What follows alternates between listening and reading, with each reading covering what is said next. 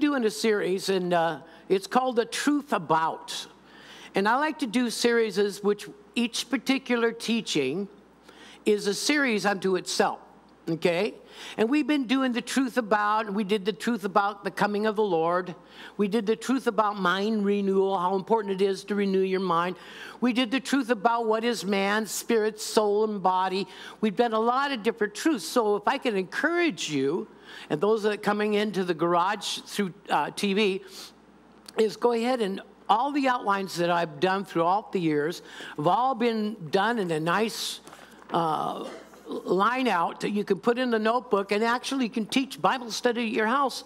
And you can go through and look at the scripture and go back over it, you know. And I'm a real important person because when I first got saved, First thing my pastor told me, he says, You're going to have a struggle with the old way and the old mannerisms that you lived in. And now that you're learning about the, the things of God, you've got to be a stickler for the word and prayer and softness of repentant heart. You can't ever get into a position as being a leader being mad at people. Can you say amen? Because leaders influence a lot of people. Okay, so tonight, and today's lesson is the truth about God's heart for us. And we're going to use as a text, we're going to use the woman caught in adultery. Now, there's some very important things that I want to bring out. We're also going to give you an illustration of why the law was given and the purpose of the law. And you know, there's a lot of bad teaching out there, you know, on the law, what the law was for. Can we have the lights on? There we go in the back too. All right. Amen. So, so let's go ahead and get into this. Would you bow your hearts with me again as I, as I pray? Father, thank you again. Make the word rich to us. Speak to us, each one individually. Father, let the eyes of our understanding become enlightened as you instruct us through your word. We welcome the Holy Spirit to be our guide and our teacher, our coach. We welcome the Lordship of Jesus Christ, Father, the gift of your Son. And, we honor you, Father, and in your presence, make the word living to us, open our eyes, and help us to embrace the truth of the gospel so that we stay free in these days. In Jesus' name, and everyone said, All right, today we're going to look at the heart of the Lord concerning forgiving and restoring. Everyone say give forgiving, forgiving. And, restoring. and restoring. Something I believe us humans need to know more about. Our job was when you find someone, the scripture says in, in Galatians 6, if you find somebody that has a fault, you which are spiritual, you go and restore them. There's no such thing as you to go and tell them a thing or two. Can you say amen? So there's a lot of rich teaching within the body of Christ that Jesus imparted to his disciples. Could you imagine what it would have been like? If after Jesus preached and taught, and we're all sitting around the fire, you know, and people are partaking of food, and Jesus begins to talk to people on a one to one basis. And he says, Peter, let's talk about your anger, Peter. You know, I think we as a church, we've been brought up in the Word, and the word is rich, word is perfect. I find no fault with it. But I, I think sometimes we need the Holy Spirit to bring us right down to the reality of the incident when it happened. And this is what I want the Holy Spirit to do when we look at Jesus confronting the religious people and the woman that was caught in adultery. But before we get there, I need to set the stage for you so that you can begin to see some of these things. So during this incident, Jesus reflected grace rather than law. Everyone say grace, grace. rather than law. Now, didn't he come to fulfill the law? Yes. Okay. But yet we see in this instance, he's going to give grace and not, you know, hold the law up. So God our Father did not come to judge the world. And I'm, this is something a lot of Christians still have to get. Okay, he didn't come to judge us, but only that the enemy, to judge the enemy and those that follow him. That's why in John 16 it says that when the Holy Spirit comes, he will convict the world of sin, of righteousness, and of judgment. And then he clarifies of sin because we have not accepted Jesus Christ, of righteousness because we go to establishing our own. And he says of judgment because, now listen carefully on this. The prince of this world, Satan, the devil, the bad guy, is, you know, the prince of this world is judged already. So if you look at that, how many's ever remember the law? I know that Marvin, he used to be a police officer. Um, how many know there's guilty by association? You hang out with the wrong group just by you being around them sometimes can be thought that you're just another one of those hooligans. You know what I mean? And so the Bible wants us to know if we get to thinking, speaking, doing things that are anti God, before we know it, the same judgment that is on the enemy can't slip over on us, and yet you and I have been redeemed from the curse. So, Christians, we found out last week that we are free and we're liberated if we walk not after the flesh, but after the Spirit. Say amen, somebody. Okay, so go with me to John chapter 3, verses 14 through 17. Now remember, if this, this, this particular chapter is dealing with Nicodemus, Nicodemus was a religious leader of the Jews. And he was supposed to know how the law worked and, and how eternal life worked. Amen. And I'm going to say something, please don't get mad at me. But the Jewish people, about the time when Jesus Christ showed up as Messiah, they were supposed to be telling the world that he's coming. The Jewish nation was supposed to be heralding the promises of Abraham that the Messiah was coming, and yet we find that they got caught up. Now, please don't get me get mad at me, but we can all do this. Instead, they got caught up in what they were doing, and they began to ostrate certain people. They called the Samaritans dogs. And you see, really, I'm going to say this, I have to be careful because I have to clarify, but religion will cause divisions. Always cause division. So God doesn't really want you and I to become religious. He wants us to have a walk, walk in one on one, face to face relationship with Jesus Christ. That's why the Father sent him. He said, Jesus said to Philip, You've seen me, Philip, you've seen the Father. Everything I do, everything I say, everything I am, I reflect my Heavenly Father to one ex- exceptional, perfect way. And the whole purpose of Jesus coming is because religion had a wrong idea of God. They took all their gatherings and writings of God and kind of put them all together. And but what came out at the end is you never know what God's going to do. And you know, our Christianity needs to be a little stronger than that. And religion, I tell you, okay, let me just go into religion just a little bit more.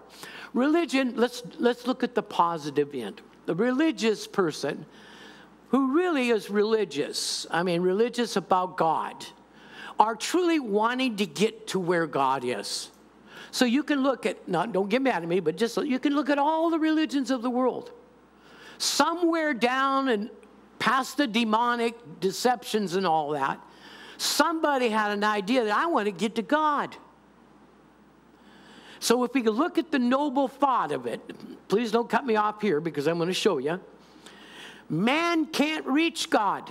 That's why Jesus came to where man is. You see, all man's religion is man's effort to be good and to reach God. There's nothing wrong with that desire. But the deception is in our body, that is in our flesh, dwells no good thing. And so when we're religious, we try to approach God by something that has already been rejected, our flesh. And so we feel that God, well, he's really hard to deal with, so we go through calisthenics, we become religious. Okay? And it was the religious people of the day that didn't recognize Jesus. Now, think about it. In churches, I'm, I'm going to stay on this for just a minute. In churches, sometimes people who are religious won't recognize the good in other people because the first thing they see is their fault. And we don't want that either, right? Can you say amen? Because everybody needs to find a home with God where they're accepted and loved and appreciated. Yeah, uh, the church home has to be a place where we're challenged and to grow. We can't sit and ferment.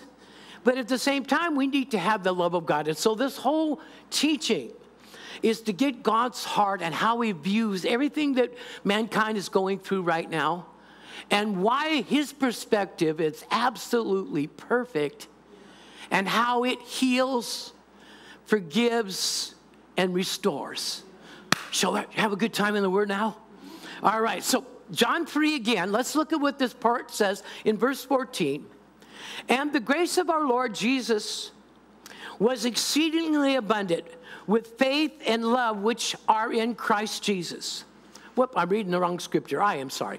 And, and as Moses lifted up the serpent in the wilderness, even so must the Son of Man be lifted up. Now, let me explain.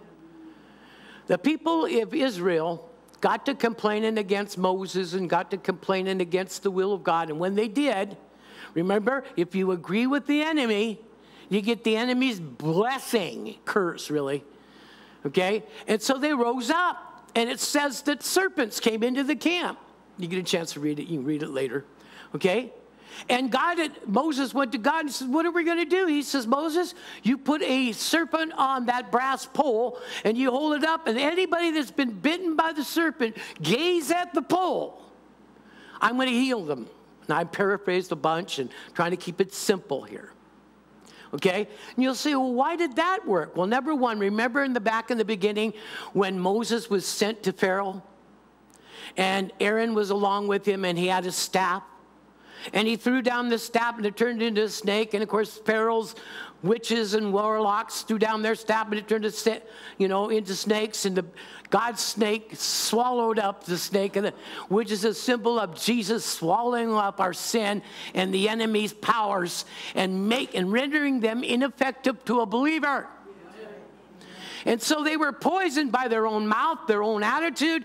And then Moses was instructed to follow that. And as they gazed upon Jesus on the pole, the serpent on, see, because Jesus became sin for us who knew no sin, Alan, that the righteous requirements of the law were fulfilled in him, and we become the righteousness of God.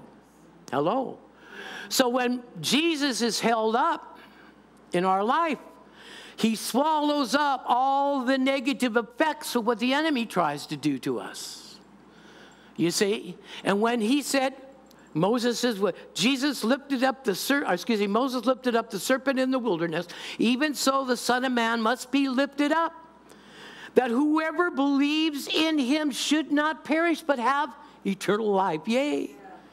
For God so loved the world that he gave his only begotten Son, that whoever believes in him should not what? Perish, but have everlasting life. Okay? So we know Jesus came to save. But what many Christians don't know is verse 17 is right after 16. Look what it says. It says this For God did not send his Son into the world to condemn the world, but the world through him might be what? Saved.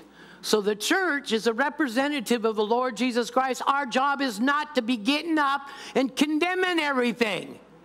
When we do that, we open up ourselves to serpent's lies. Everyone say positive attitude. Speak good things about others, especially our government. Or don't say anything at all okay? Because our mouth, every idle word. See, Satan's crafty. He'll get you so covered and so overcome with looking at all that negative. Out of the abundance of the heart, your mouth is going to, and then you're going to open the door, and the enemy can get in there. So, what do we do? Sharon, we lift up Jesus in our hearts, and that cancels out, and we refocus watching that from now on. Why not? I mean, my goodness, why carry a bat around just to bang yourself on the head every time you're stupid? you'd be dead by this afternoon. No, I'm just joking with you, but you getting the idea. Now let me read 1 Timothy. Look at what Paul writes to Timothy in 1 Timothy 1, verses 14 through 16. Sorry, I, I bounced the scripture, but this one, listen. And the grace of our Lord was exceedingly abundant. Do you say amen to that? Yeah. With faith and love which are in Christ Jesus. This is a faithful saying and worthy of all acceptance that Christ Jesus came into this world to save sinners. Then Paul says, Of whom I am chief. Verse 16 says, Whoever, uh, however, for this reason I obtain mercy, that in the per- that in me first Jesus Christ might show all long suffering and a pattern to those who are going to believe on him through everlasting life. What did Jesus come to do? Save. What is the church here for? To save. To reach out in the Great Commission, to reach out beyond ourselves and not build our churches, not build our name, not brag about ourselves, but get out there and touch the lost.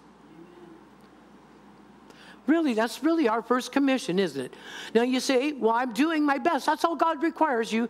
Is that you not keep quiet about all the good things God has said about you. And you'll find out. Let me just testify. One time I came back from a full gospel businessman fellowship, and I was so full of God. And I'm driving through Enumclaw because it was at you know, Lake Wilderness out there uh, on the golf course. I'm driving through Enumclaw, and God says, speaks up in my spirit. Now, I must say, you have to make sure things like what I'm about to tell you is God and not just my well wishing head, you know what I mean? And he says, I want you to drive over to the Lee Hotel and I want you to walk in there and I want you to sit down and order a Coke. Now, I'm minding my own godly business, driving through Enumclaw, singing and rejoicing. I'm just, the sense of humor of God is so beautiful. I says, okay, God, I'm going to do it. But you know that's a bar and there's Klingons in there. And he says, yeah, but greater is he that's in you. So I'm making a long story short. I went in, I sat down, ordered a Coke, and this guy came out of the bathroom. He sat down next to me, and there was a bartender. So it was a bartender and myself, and I'm drinking a Coke. And the bartender says, uh, um, what you here for? And I says, I'm here to share my testimony. I just want to tell you all the good, you know, they didn't tell me to shut up or get out. So I just want to tell you all the good things that God has done for me through these years. That I am so amazed and so taken back that He would care for, for me like this. And I wasn't sharing anything. I wasn't getting loud like sometimes I do and all that. I talked about God providing my socks, my underwear. I mean, I just went into the, you know, silly things how God provides every little thing for me. Then I noticed the guy that was sitting next to me got up and went to the bathroom again. And the bartender's mouth was hanging open. Because you know, when you're talking, sometimes you're not looking at who you're talking to sometimes, and you're just trying to remember it all. And I looked up, and he, I absolutely, God had arrested his, his being. And then the guy come out of the bathroom staggering. And he sat down, he says, You'll never believe what happened to me. I went into the bathroom and God began to speak to me and shook me and I fell on the floor. Okay, now, why did you share all that? I want to share that God wants us to bring Him out in our conversation. Let me caution you don't have to prove God. Don't try to prove God. Somebody says, you know, I don't want to hear that right now. Says, well, I just can't help it. He does so many good things for me. Okay, but a lot of times we get into wanting to prove God, and God says, I'll prove myself. You just talk about me. And I can go through story after story after story after story because back in those days, I didn't have a whole lot to preach. I hadn't been fully trained yet. I just had a testimony and things that God was doing good in me. And this is for you, Tina. The good things that God is doing for you are very important for other people to hear. That's it, right. Overcome by the blood of the Lamb and, amen, and the word of our testimony. Absolutely. So, a couple of points I want to give you before we move on to my next point. Sorry, I had a cough. One point. Now, remember the curse. Okay? Remember the curse of the Israelites brought into the camp because they spoke against God. As a Christian, don't ever speak against God nor other Christians. It's just not worth it.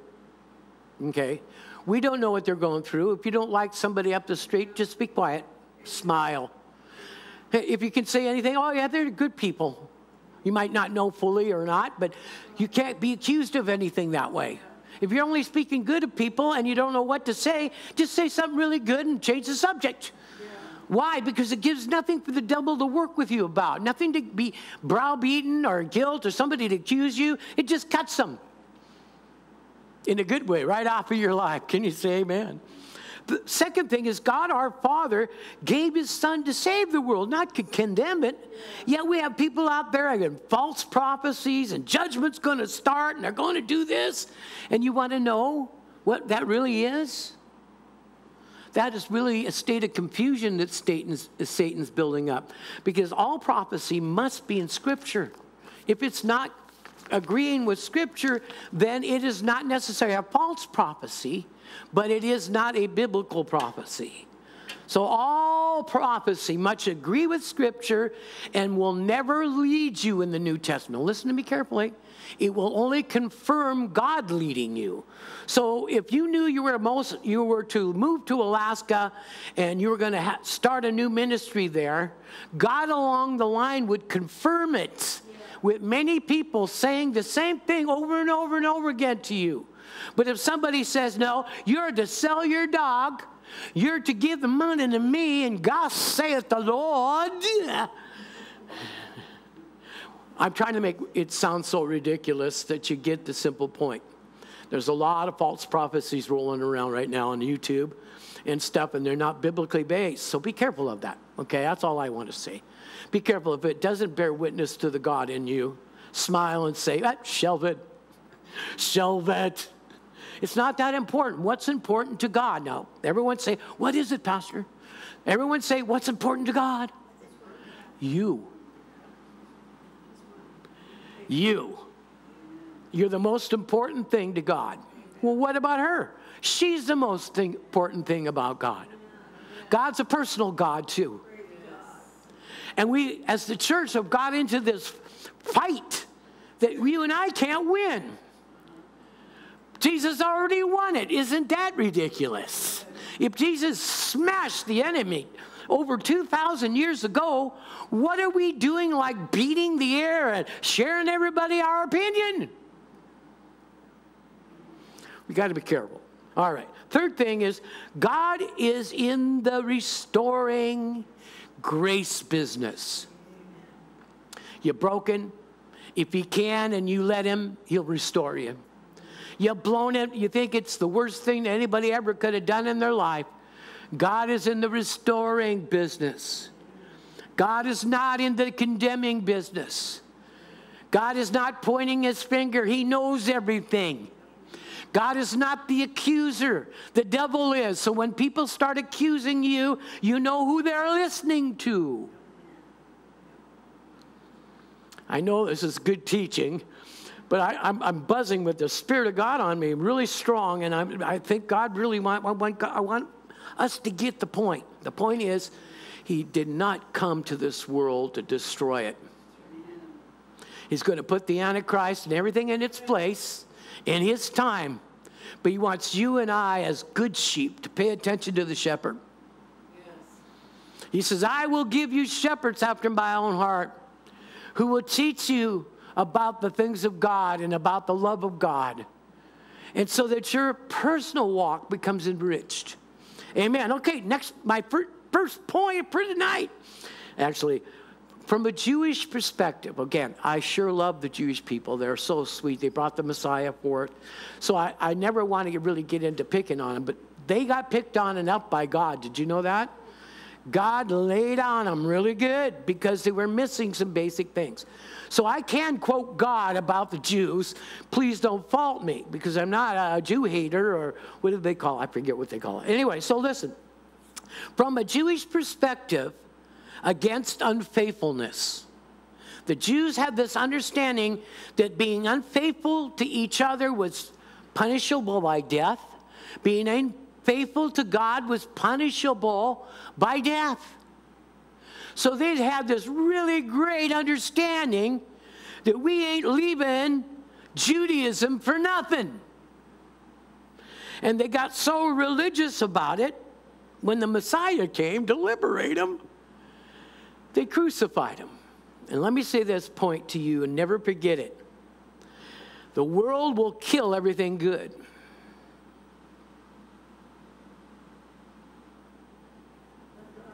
If you let it. Satan is the God of this world. He still runs the system. Jesus is here, yes, but you know, getting with Jesus has got to be your voluntary basis. Jesus didn't force himself on anyone. But more of him is here in this planet than anything the enemy's doing. But this is the enemy's time. These are the last days. So his job is to make the biggest, darkest, dirtiest smoke screen that he can. Meanwhile, you and I could care less. Why? Because we're marching with God. We listen to a new drum beat, a different trumpeter. We have different marching orders. But the Jewish people were caught up into the religion part. Now, listen to this Romans 7, listen to the instruction Paul gives to the Jewish people. Or do you not know, brethren, for I speak to those who know the law, that the law has dominion over a man as long as he lives. I got to take a sip here. For the woman who has, has a husband is bound, bound by the law to her husband as long as he lives. But if the husband dies, she is released from the law of her husband. So then, while her husband lives, she marries another, she will be called an adulteress, though she has married another man. Therefore, my brethren, you also have become dead to the law through the body of Jesus Christ. He's not really talking about marriage. He's talking about how the Jewish people are so married to the law, the whole thought of leaving the law and the covenant is like death. So no wonder it was so hard to, read, to lead Jewish people to the Lord. They thought they were going to die and be punished by God, not knowing that Jesus came to fulfill all the demands of the law. Now, yeah, it is finished, and we're going to actually get to that part here in a minute. But if you think about that, same Holy Ghost says, but if you think about that, you think about that, we get we, a lot of Christians today, and again, I'm not trying to pick on any of them, but we get the, the law and grace all intermixed with each other. They get the law going, they get the mix, and you know, I'll pray harder. God will favor me longer, and, and if I give more, God will give me more back. You know, that's the law, folks. An eye for an eye, tooth for tooth. Give, should be given. When Jesus says, when you're to love God with all your mind, heart, soul, and strength, and this is love your neighbor as yourself, right? That was the Old Testament. How many know that some people don't love themselves at all? So they're not going to love their neighbor. So Jesus popped in a new one. He says, Love your neighbor as I have loved you. New Testament. But we Christians get those all mixed up all the time. And so we're trying to live Old Testament principles back into the New Testament, and we find ourselves getting under bondage again. Paul addresses it in Colossians says, Why do you go back to the beggarly elements of the world, uh, studying Sabbaths and holidays and, and making everybody convey to that? These are all bondages. They're all shadows of things to come. Jesus. Jesus fulfilled all that. So, you might say, well, what's it so important? It's very important because Christians are still trying to follow the law under grace. We have whole groups of them waving flags and, and dancing around. I think that's beautiful. But a lot of them, you ask them why they're doing it, and they can't tell you. Sounds like a lot of political people I know. but anyway, catch this. So then, if while her husband lives and she marries another man, she's an adulteress, though she marry another man. Therefore, my brethren, you also have become dead to the law through the body of Christ, that you may be married to another. To him who is raised from the dead, and we should bear fruit to God. So when we were in the flesh, the simple passions that are, are, are which are aroused by the, I have to look at this word, I got a red line going through my notes. It says, we're aroused by the law, we're at work in our members. In other words, so what the law said was, Peggy, you can't save yourself. Oh, yes, I can. and that's what happened. Remember when you told your kids, don't cross that line? When you weren't looking, they did? You see, because rebellion is born in the heart of a child. So what do we do? We bring that person is submitted to God on a daily basis, so God puts that fleshly part down. Amen. So the law was designed revive sin in us. What Paul say? Before the law came, I was alive, but when the law came, it slew me. Not the law itself, but the sin that was in me slew me. Because now I knew the speed limit sign said 35 and I was doing 70. So the law was given to let us know what God expected that we can't save ourselves, but he was going to send a Savior. And he was going to enter our hearts and he was going to fulfill the law. It is finished. And he's going to lift us up into a higher plane. And as long as we don't get distracted and we pay attention to follow him, we will get out of here and you will be rewarded greatly. But if you get caught up in the world and get all that kind of stuff, what did John say? John says he knew John, the beloved. Remember, he's the guy they couldn't kill. He's sitting there splashing around and he, he'd say something like this Love not the world, nor the things that are in the world. For if anyone loved the world, the love of the Father is not in him. Now, what in the world is he talking about? He says, don't love Satan's worldly system, gambling, exposure, all of these things that corrupt. What? You can love fishing. You like to hunt? Love hunting. It's not what he's talking about. If you like to have a vacation, that's not what he's talking about. He's saying don't get, get caught up in the monetary system of this planet because Satan is running it right now. And if you do, you cannot serve two masters. Either you will love the one or hate the other, or you will hate the one, despise the other. You cannot serve God and the world system, mammon. Mammon there does not just mean money, it means the world system of exchange. I know people who would kill their mother for 10 bucks so they can get a hit of drugs. For the love of money is the root of all evil. Money's not evil, it's the person has it. Who do they serve? Okay, moving right along. So he says, Look, but now that Jesus died, rose again, you Jewish people, your, your law has died. Now, let me, let me caution us. First of all, the law was not done away with, the law was fulfilled in Christ. It's very important you use that terminology because some people have a fit if you say, well, Jesus done away with the law. No, Jesus fulfilled the law, and he did do away with a portion of it. Can anybody tell me what that portion is? Come on, you biblical scholars. You have to really think about it he got rid of the curse of the law. The law still remains. As a reminder, we can't save ourselves. But the curse from not obeying the law has been removed. Jesus removed the curse, as is written. Cursed everyone, cursed is everyone that hangs on the tree. Christ has redeemed us from the curse of the law, being made a curse for us. So, therefore, guess what? Curses are not for believers. Curses are not for believers. But if you're going to go act like the devil for two weeks, you're going to taste a few.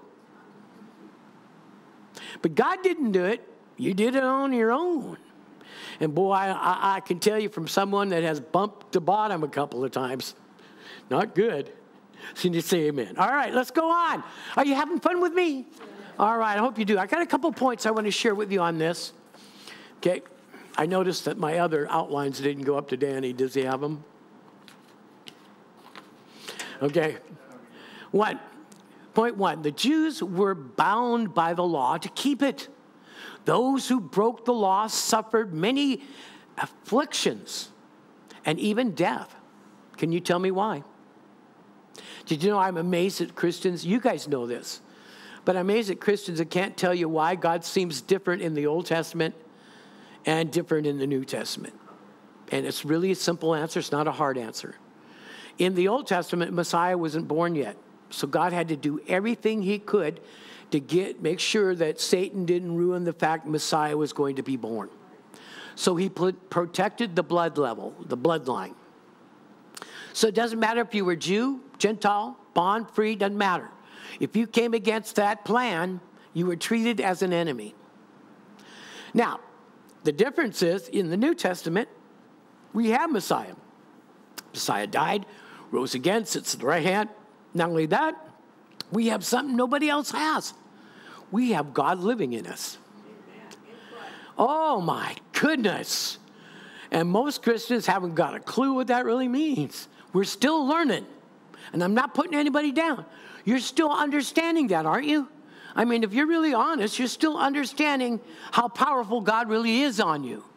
Now, the key is God is a gentleman, so as much room as you yield to him, he'll take. But if you don't give him any room, he'll sit there off on the side of the corner of your life, hardly doing anything because you won't let him be God. He's a gentleman. And gentlemen, if you don't want him in the house, they'll leave. Everybody say, More of God, less of me. More of God, less of me. More of God, less of me. Hallelujah. Amen. You guys are champions. Don't let anybody talk you out of that. And love one another and build one another up. Okay, so second point I want to give you is when the wife of a husband is freed by his death, she is freed to marry another. When, namely, Jesus Christ, who died and rose again, he's freed us from the law, freed the Jews from the law. Now they are free to marry our Lord Jesus Christ. How many times have you heard me say, Stop dating Jesus, Christians?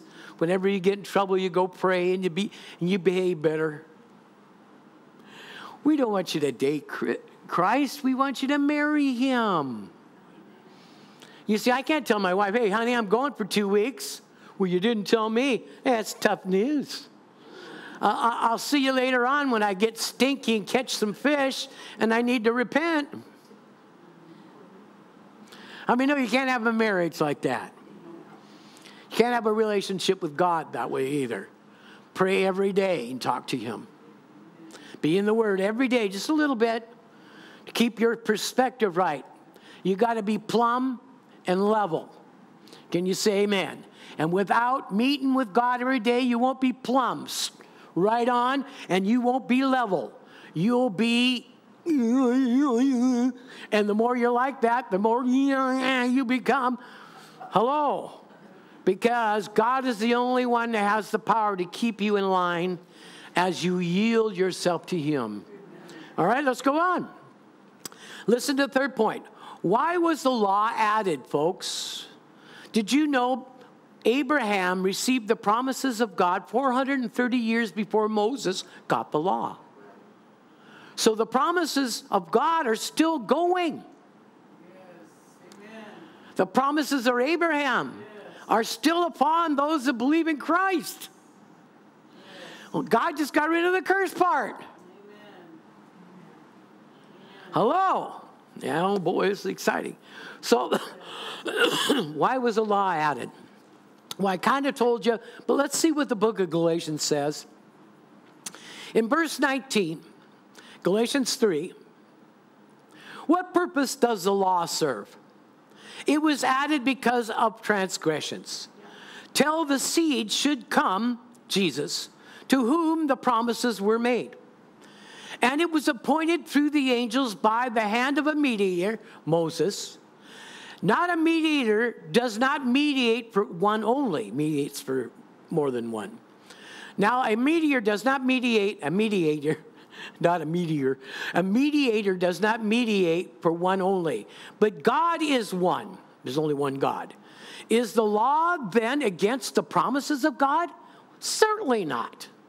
For if there had been a law given that could give us eternal life, and truly righteousness could have been done by that law, but it couldn't be. But the scripture has confirmed all under sin and that the promises of faith in Jesus Christ might be given to those who believe that are not under the law, but under grace. Can you say amen? Amen. So, what happens a lot of times is we're trying to be good because we don't want to get in trouble. And we're fitting, forgetting that God's already forgiven us and already is walking with us. Our little, it's like a little two year old that pulled over your, your canister, knocked over your garbage can, made a terrible mess. You stop loving that child. You pick it up and go, What a mess. And you love it. Hello? What a mess, folks. What a mess. So, let God love us and restore us and help us. So, let's see God's attitude towards the woman caught in adultery. Let's see the view of the law of the religious. Let's see the view of Jesus. Remember, Jesus represents the Father. So everything Jesus did, everything Jesus does, says, all is the Father's will for us. So in John chapter 8, 1 through 12, and we'll finish. But Jesus went up to the Mount of Olives. Remember, I gave you a real, on Wednesdays, we get into some really good meat. But we told you on the Mount of Olives when Jesus was really talking to his disciples, Mount of Olives looks right over to Jerusalem, remember? To the eastern gate and the, the dome on the rock and all. Okay. So Jesus was at, went to the Mount of Olives now early in the morning. I got to take a drink here. Early in the morning, and he came again to the temple, and all the people came to him, and he sat down and he taught them. Then the scribes and the Pharisees, who? What was a scribe? Secretary. They wrote notes. And Pharisees, what was a Pharisee?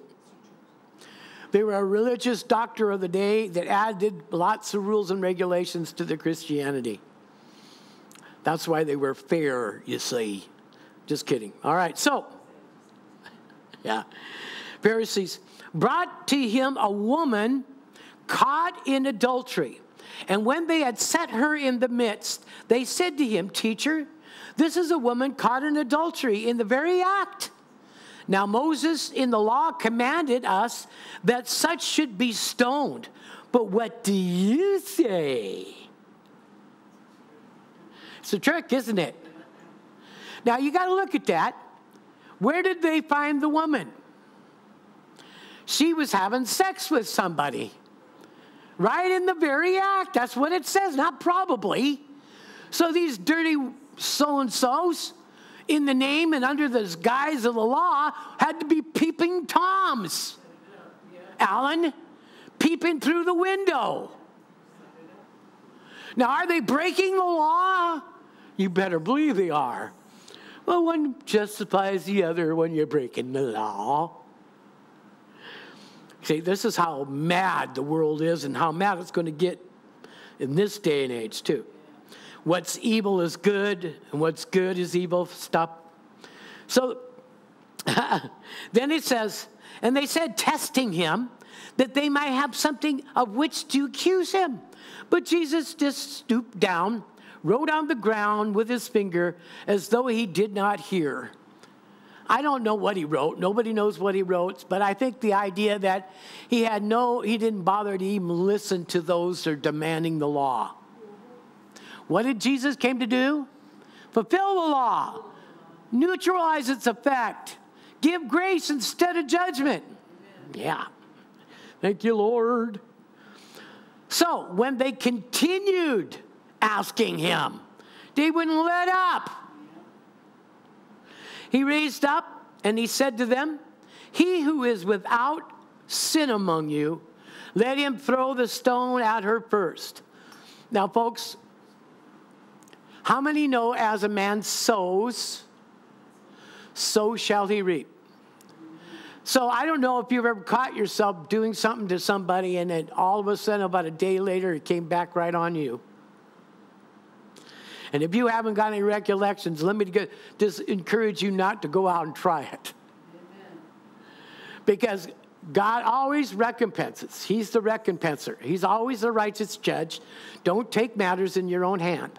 Somebody calls you a name, don't call them a name back. Just smile at them say, oh, well, take it up with Jesus. Don't let it become an offense to you. Why? Because you're better than that. Moving right along. Okay? So they continued asking him. So he wrote on the ground. Then he rose up and he said, You without sin cast the what? What happened?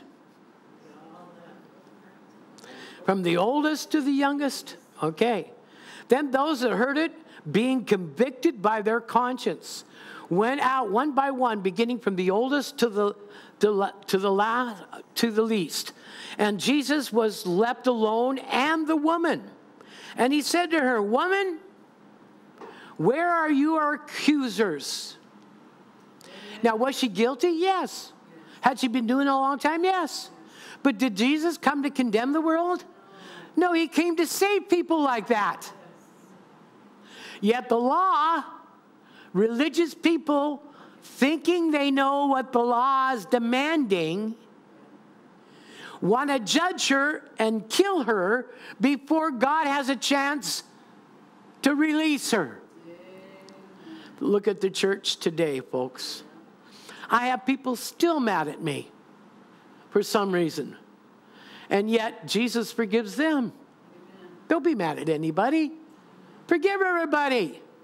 But it, listen, if it's a dog that bites, don't get by the dog again. All right. So when Jesus had raised himself up, he said, You without sin cast the first stone. Woman, he said, Where are your accusers? And has no one condemned you? Jesus came not into this world to condemn the world. Right? Is it speaking to you? Do you see how God looks at these people? He looks up them as a real mess, but if he doesn't look at them in love and he just feeds that fear, he'd wipe us all out in a second, saying, I'm tired of them all. Anyway, thank God. God is loving and he's merciful. Then Jesus spoke to, uh, I love this, and they said, No one, Lord. Jesus said, Neither do I condemn you. Go and sin no more. Then Jesus spoke again, saying, I am the light of the world. He who follows me shall not walk in darkness. He's saying, Look, it, if you follow me, you're not going to commit adultery. You'll be so caught up in me, you won't be thinking about defilement. You'll be so caught up, listen, I'm going to throw this out. You'll be so caught up in God, you won't have a boyfriend or a girlfriend that doesn't love your Jesus. You won't put up with it. They have a different God than you, and that means if they're hugging on you, they're sliming on you. You need to look a little bit wiser about life and don't just sweep things under the carpet. Now, this is our Father's heart. When you make a mistake, how is he going to deal with you? Is he going to slap you silly? Or is he going to love you and restore you? Okay, but you got to help him. How do I help the Lord to restore me? Admit that you need help and ask Him for it. So let's go ahead and do that right now. Put your hand on the heart, if you will. There's nothing wrong with repeating a prayer after me. Just mean it with your heart. I'm going to lead you in a prayer asking God to help you, okay? You ready for that?